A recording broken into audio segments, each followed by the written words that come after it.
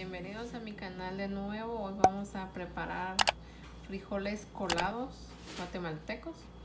Como pueden ver aquí ya tengo yo cocido los frijoles. Eso los cocí ayer. Ahora ya solo los voy a licuar y los voy a freír.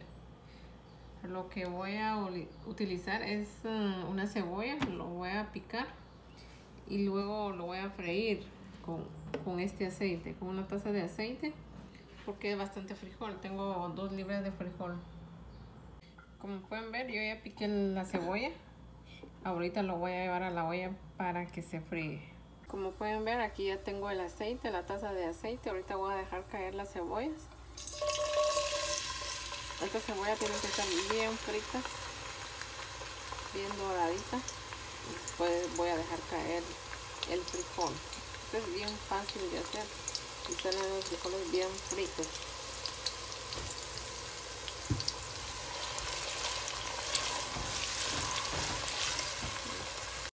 como pueden ver ya licué el frijol. Ahorita le voy a dejar la cebolla que está bien frito como pueden ver Aquí se va a quedar aproximadamente como media hora. Tiene que hervir bastante bien para que agarre el sabor de la cebolla. Como pueden ver pasó como 40 minutos. Lo dejé en el fuego para que se espesara bien.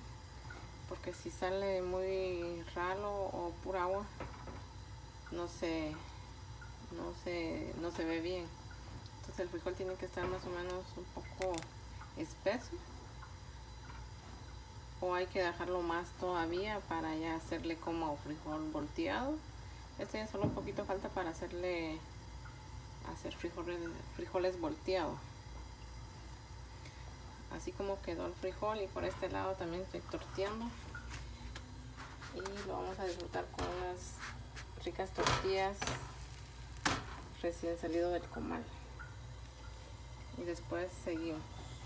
Como pueden ver así quedó el frijolito son frijoles licuados al estilo guatemalteco así lo acompañé el día de hoy. Este el frijol lo puede usted hacer frijoles volteado colado parado y lo puede acompañar también de esta forma con queso huevos o hacer tostada de frijol aquí en Guatemala lo comemos lo consumimos mucho. Mucha gente lo comen bastante de frijol tostada de frijol como pueden ver así quedó. El frijol nunca tiene que ser falta en la casa por cualquier emergencia. Y gracias por los que han venido a ver mi canal. Muchas gracias les agradezco bastante. Espero que le den like. Y nos vemos a la próxima. Bye